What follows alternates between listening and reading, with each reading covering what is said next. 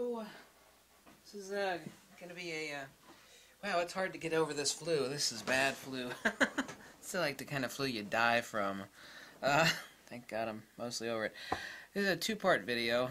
Um, uh, buddy of mine, I, uh, he said I could quote him. He's a famous uh, haute couture and supermodel photographer Benjamin Kanarek.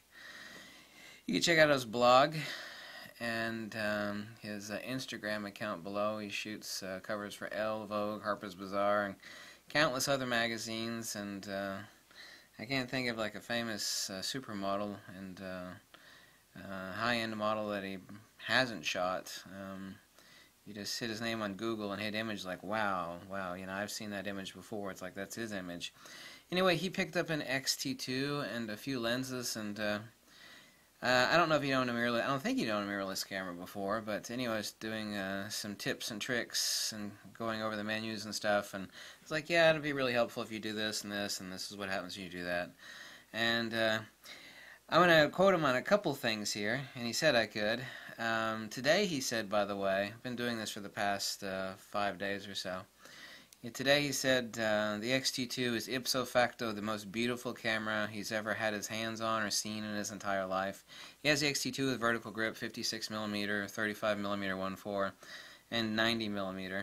Um, he's been so shocked. It's been actually uh, a pleasure listening to his responses. He's been posting some images over on a DP Review and on his Facebook page and and uh, just uh, testing out and getting uh, familiar with the camera. And uh, I've actually never heard such exuberant, joyful happiness as, as listening to him like uh, see some of the like peaking, like focus peaking and slapping. And he got some adapters off my recommendation.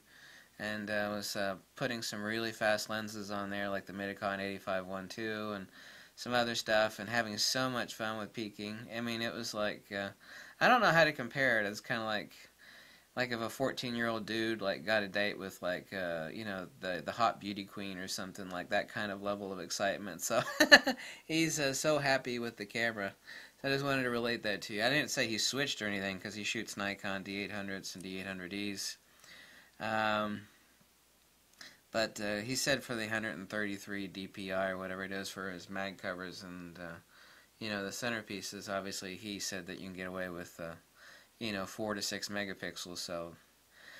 Um, anyway, I, I thought that was uh, fascinating. The past few days have been uh, uh, enjoyable, like, you know, showing some of the ins and outs in the Fujifilm system to him, and the tips and tricks, and, you know, how to make things easy.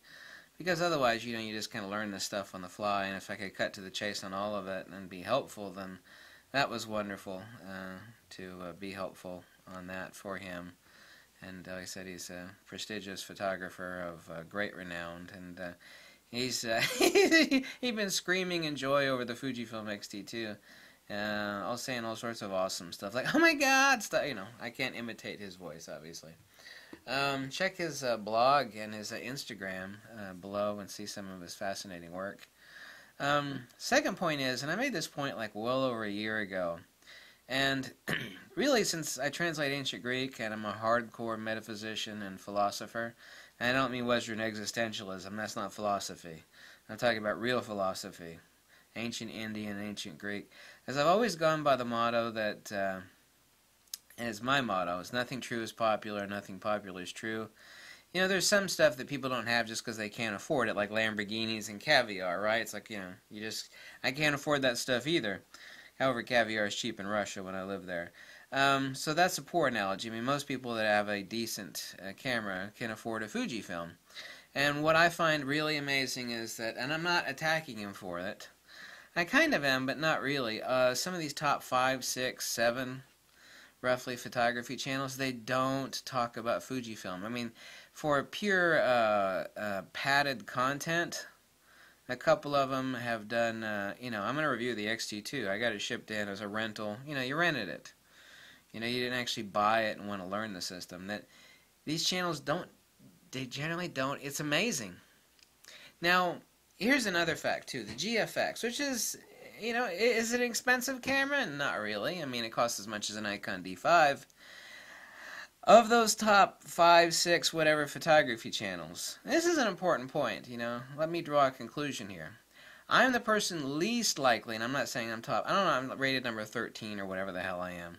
I'm the person least capable to buy that camera so far as income. I have no affiliate links, and my income is infinitely less than any of those guys. So why is it that I own a GFX? And none of those guys even mess with it. They haven't tested it, they haven't reviewed it, they don't own it. Stuff like that is really telling to you.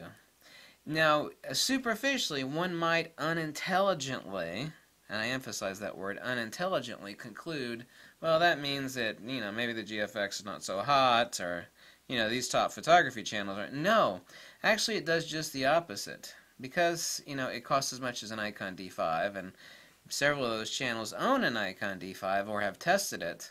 They've not tested it, they've not used it, they don't own it, they don't talk about it.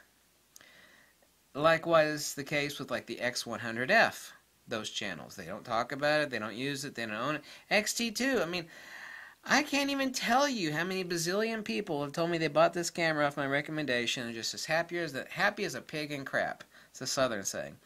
Happy as a woodpecker in a lumberyard. the fact that these top five, six, seven channels uh, don't discuss Fujifilm in general, you know, once you know, one guy did get the Fuji X-T2 and a few lenses in. He went out and he tested it. He rented it. He didn't buy it or anything. He rented it, and he that's called filler. The point is, is like that was one video, maybe two, but these guys aren't talking about Fujifilm, and that is actually. I'm not saying I don't respect those channels, but th those channels are about creating content for monetary income. Now you might think that I do that, and I don't care if you think that, but I don't do that. Um, I have no affiliate links, and I'm not pimping and shilling for anybody. You know, I, I do bust my butt on emails and comments, and even the people that hate me know that. But I know because I've been fixing cameras and lenses and fixing lots of stuff for well over 20 years, that this is currently the best made camera out there. Fujifilm. Now, you want to spend $20,000 on a Leica? Fine. Bad customer service in the case of Leica. Really expensive camera, horrible customer service. Kind of counterintuitive, but that's the case. Outside of Leica, which does not count, it's like, why doesn't it count? Because it, it just doesn't count. You know, talk about a rangefinder camera for Christ's sakes. Fujifilm is making the best camera, has the best customer service, has the firmware support. You know, everybody everybody knows, even people don't like Fujifilm. God, they're always doing firmware updates. The fact that these top five, six, depends on who you count, say five or six, they don't discuss Fujifilm, they generally don't own it, they don't talk about it. You you know, they own an Nikon D5, which costs as much as a, a, Fuji GFX. Why the hell didn't they borrow that and talk about it and discuss it?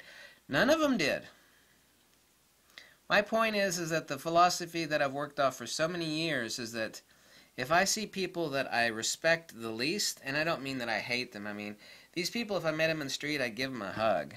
People that know me and that have met me, like Louis Von John, the English guy that came and went, you know, I gave him a bunch of stuff, was really kind of. They know I'm that way. If I met these these photography channel guys, and you know, I'd give them a handshake and a hug, and like buy them a soda or whatever, coffee. I don't drink alcohol.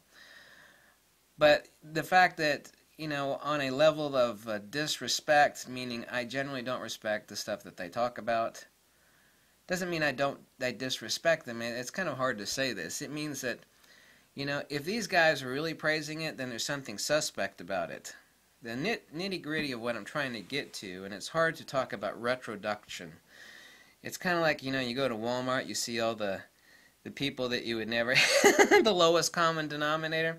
The fact that these people don't talk about it and generally don't review Fuji Fujifilm, which is currently the best main camera, best customer support, that is extremely um, uplifting um, intellectually to me.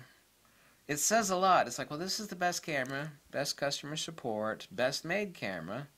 This is, you know, at sixteen hundred dollars for the camera body. I mean, relatively, it's a cheap camera. Hell, the Nikon D850 is three thousand three hundred. The fact that these people don't talk about it is is uh, a big plus. You know, it's a big plus.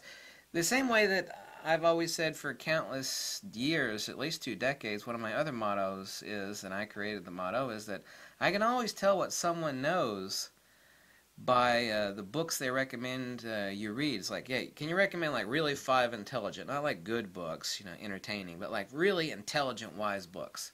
Just like name them off, top five. I can really tell a lot about what someone knows or doesn't know about things in general by the books that they recommend as the most intelligent or the most wise to read. Um, this is kind of hard to actually relate to you, but it's actually incredibly encouraging that those channels that are mostly about creating revenue for themselves, and that's fine, you got to pay the bills, you got to feed your family. You know, I don't have a wife and kids. Those people do. I don't begrudge anybody for trying to make a living for crying out loud. But the fact that they don't talk about Fujifilm, they don't discuss it, they don't own it, that is really telling to me in a good way because those are the people that are doing something totally different in photography that I'm not, not I'm definitely not on the same book on. In other words, I don't jive with what they got going on. A lot of people don't jive with what I've got going on.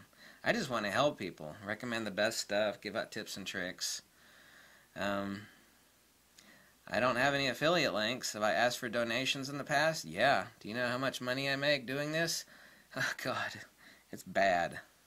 You've not seen me make any videos from like exotic locations. 4,300 videos I have. There is not one exotic location. Hi, this is Angry Photographer reporting to you live from Iceland. That'd be the first place I go. Not in wintertime, but in summertime. Like, hey, I'm in Iceland. you know, doing... No. So... It's hard to express that to you, but what it means to me. It's uh, very, very telling.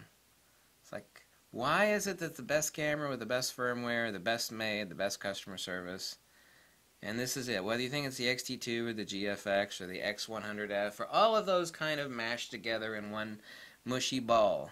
Fujifilm. These people really don't talk about it. And that is encouraging. Like I said, from the unintelligent and superficial standpoint, you think, well, that's discouraging. You know, these guys are always talking about Nikon and Canon and Sony. Nikon, Canon, Sony. Nikon, Canon, Sony. Nikon, Canon, Sony.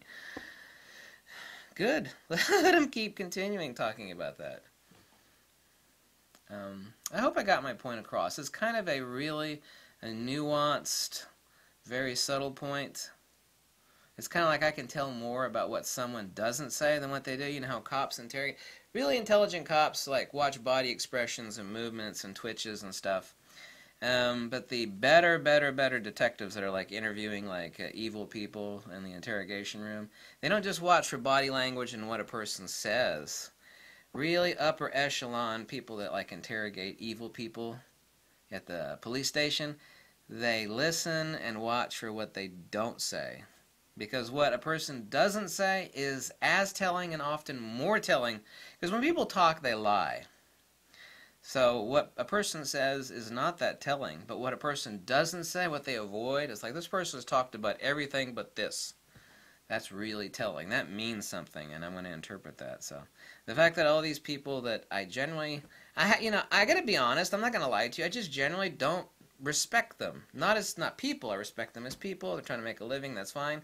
But I generally don't respect that the you know the uh, the stuff that they do. They don't talk about Fujifilm, and that is a uh, that is a happy a happy period at the end of that sentence. Uh, I hope I made myself clear on that because it really is very subtle. Someone's going to say, I understood you the first two minutes. You kept flapping your lips. Okay, I know someone's going to say that. Anyway, thanks for watching, and uh, Fujifilm. Bye.